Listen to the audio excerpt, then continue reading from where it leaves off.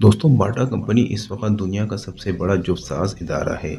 इसके बर रास्त मुलाजमीन की तादाद तकरीबन नबे हज़ार है और बिलवास्ता इसके अलावा है। टॉम्स बाटा की कामयाबी का सफ़र एक मजदूर के एक फ़िक्रे से शुरू हुआ और इसके बाद वो किसी जगह रुका नहीं। वो मजदूर अब बूढ़ा हो चुका था। वाजबी सी तालीम थी, लेकिन तजुर्बात से मालामाल था वो ज़िंदगी के पुरपेश रास्तों से खूब वाकिफ़ था। ये इसी बूढ़े मजदूर के तजर्बात से भरपूर फ़िक्रा था जिसने उसे आम मोची से मल्टीनेशनल कंपनी का मालिक बना दिया, जिसका आज भी शोहरा है। टॉम्स ने मोची का काम शुरू किया, उसके लिए एक दुकान खोली और सात मजदूर भी रख लिए। ये चंद महीने दुकान चला पाया था, लेकिन इसे हर कदम पर नाकामी हो रही थी। लोग इसके बनाए हुए जूते नहीं खरीदते थे और मुलाजमीन भी इससे खुश न थे। टॉम्स हिम्मत हार के घर बैठ गया। दुकान पर जाना छोड़ दिया और परेशान सा रहने लगा। इन्हीं दिनों एक शनाज बूढ़े मजदूर से मुलाकात हुई। इसने इसके चेहरे पर परेशानी बाँध ली और वजह पूछी तो टॉम्स ने सारी सूरत हाल बता दी। बूढ़े मजदूर ने कहा, बेटा, हमेशा तुम ये ख्याल किया करो कि मेरी प्रोडक्ट महँगी है और मजदूरों को उनकी मेहनत से कम तनख्वाह दे रहा हूँ। इस तरह आप ये कोशिश करते रहेंगे कि किस तरह मेरी प्रोडक्ट सस्ती हो और मेरे मजदूरों को ज़्यादा तनख्वाह मिले। ये बात तीर की तरह टॉम्स के दिल को लगी, और इसने हमेशा के लिए इस पर अमल करने की ठान ली। दोस्तों, टॉम्स बाटा शूज़ कंपनी का बानी है। इसने कंपनी अपने ख़ानदान के नाम पर बनाई।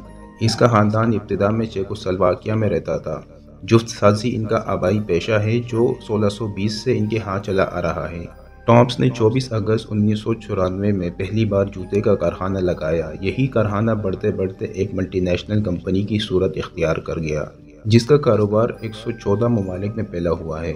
बाटा कंपनी इस वक्त दुनिया का सबसे बड़ा जुसास इदारा है। इसके बर रास्त मुलाजमीन की तादाद तकरीबन नबे हज़ार और बिलवास्ता इसके अलावा है।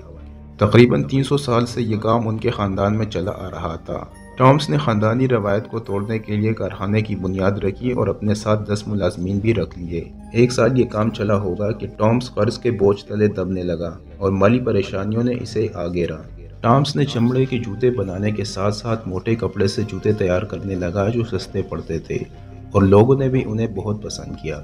इन जूतों की मकबूलियत और मांग बढ़ने से मुलाजमीन की तादाद 10 से 50 हो गई। दोस्तों, इनके प्रोडक्ट की कीमत नौ के हिंसे पर ख़त्म होती है। काम इस हद तक बढ़ गया कि अब मशीनों की ज़रूरत पड़ गई, क्योंकि इसके अलावा डिमांड पूरी नहीं की जा सकती थी। वक्त गुजरने के साथ साथ अब ऑटोमेशन का दौर आ गया है। इसकी कंपनी के मुलाजमीन 600 हो चुके थे, जो उसकी तरक्की का मुँह बोलता सबूत था। 1914 में पहली जंग अजीम शुरू हुई।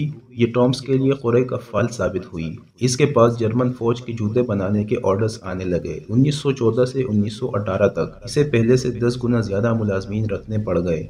कारोबारी दुनिया में कामयाबी के साथ परेशानी का सामना भी करना पड़ता है। जंग के बाद इसका कारोबार बहुत मंदा हो गया, लेकिन इसने हिम्मत न हारी। 1925 में फिर से बिज़नेस उरूज की तरफ़ बढ़ने लगा। टॉम्स बाटा 1932 में छप्पन साल की उम्र में जहाज़ के एक हादसे में फौत हो गया।